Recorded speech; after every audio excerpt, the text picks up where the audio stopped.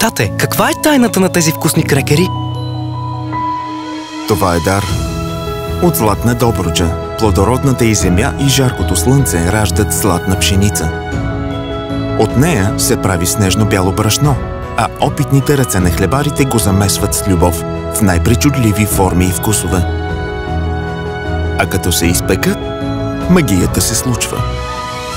Значи за това крекерите златна добруджа са толкова вкусни. Златна добруджа – дар от плодородната земя.